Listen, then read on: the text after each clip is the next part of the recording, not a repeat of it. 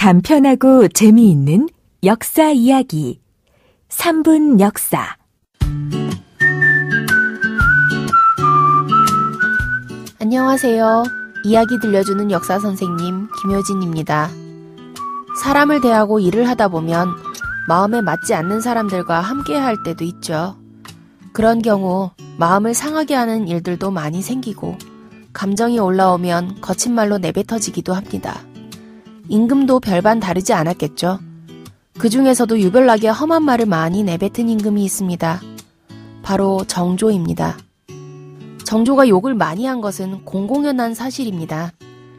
이것은 2009년 정조가 심환지에게 보낸 비밀 편지 297통이 발견되면서 더 많이 알려졌는데요.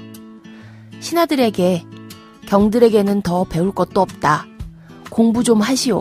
라는 핀잔을 주기 일쑤였고 창원 부사를 지낸 문신 서영보에 대해서는 호로 자식이라고 했으며 김매순에게는 입에서 젖비린내 나고 사람 같지도 않은 놈은 경박하고 어지러워 주둥아리를 함부로 놀린다며 험담을 했습니다.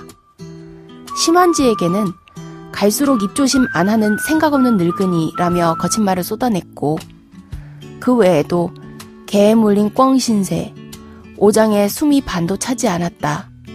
도처에 동전 구린내를 풍겨 사람들이 모두 코를 막는다 등의 내용을 편지로 쓰기도 합니다.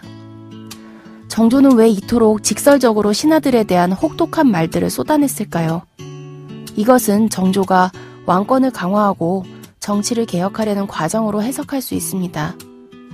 당시 정조와 논쟁했던 신하들은 논쟁을 벌인 후 몸살에 걸려 알아누웠다는 기록이 있을 정도였거든요. 다만 정조가 그렇게 신하들을 누르고 왕권을 강화하려 한 데는 억울하게 죽은 아버지 사도세자에 대한 마음도 담겨 있다는 것을 떠올려 볼 수 있습니다. 정조는 피해 복수를 하지 않았습니다. 그의 통치는 사중지공 공중지사 사사로운 마음에 공이 있고 공을 위한다는 말에 사사로움이 있다라는 여덟 글자를 통해 설명할 수 있을 것 같네요.